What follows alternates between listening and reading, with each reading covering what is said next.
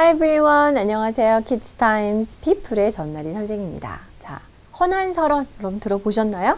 당연히 여자분이시고요. 우리가 지난번에 배웠던 누구의 또 가족이 되겠습니다. 네, 그렇죠. 우리가 홍길도 운전을 지으셨던 허균, 그죠? 허난설헌 was a leading poet of the mid-Joseon dynasty. 자, 허난설헌은요, 허가 이제 성이 되겠죠. family name이 되겠죠. 조선 시대 중기에 아주 인류 여류 시인이었습니다. Her younger brother, 그녀의 남동생이 바로 was 허균, the author of the tale of 홍길동. 홍길도전을 지으신 자, 허균이 되겠죠. 지난번에 우리가 허균에 대해서 읽어봤었죠. Her husband mostly ignored her and their two children died as infants. 자, 허난설은 우리가 이름을 다 알고 있을 만큼 유명한 여류 문학가임에도 불구하고 이 거기를 보니까 또 그녀의 삶이라는 게 좀 이렇게 순탄하진 않았던 것 같아요. 남편은 대부분 그 시절의 모든 그 가부장적인 남자들이 그랬던 것처럼 부인을 약간 무시하는, 그죠? 존중하지 않는, ignored 했고요. 그녀의 두 아이들마저 infant, 어린 시절, 아주 아기 때 죽고 말았습니다. Per her will, most of poems were burned after she died at age 26.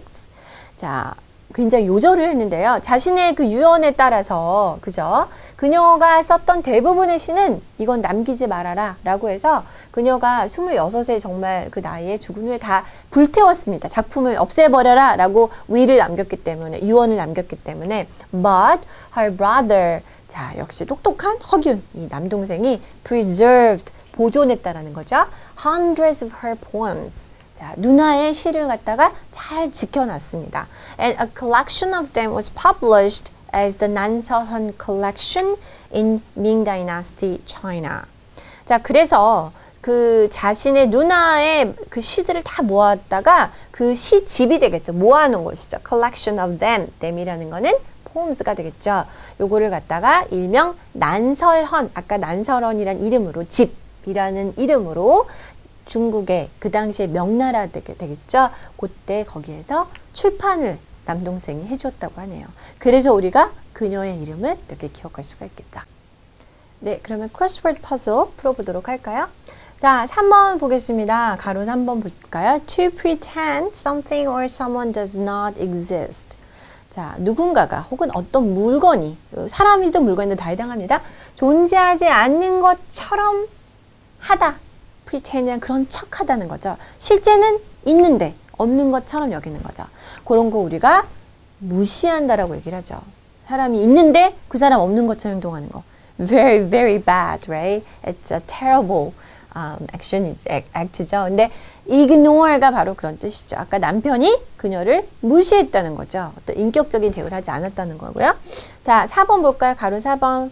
어, following. 자, 무엇에 따라? 그녀의 유언에 따라 라고 했죠. per라는 표현을 쓸 수가 있고요. number one, 새로 1번. a baby. baby, 아기죠, 아기. 이거를 조금 더 이렇게 세분화해서 우리가 뭐 유아, 그죠? 유초등부 뭐 이렇게 나눌 수가 있는데 infant라는 단어가 바로 유아가 되겠습니다. 자, number two, to save something for later use. 나중에 사용하려고, 유스하려고 뭔가를 아껴두는 거. 그죠? reserve가 되겠습니다. 우리 앞에서도 preserve라는 표현도 썼는데 뭔가를 보존하고 아끼다 이런 의미가 되겠죠. Okay, this is all for today. I'll see you next time. Bye bye.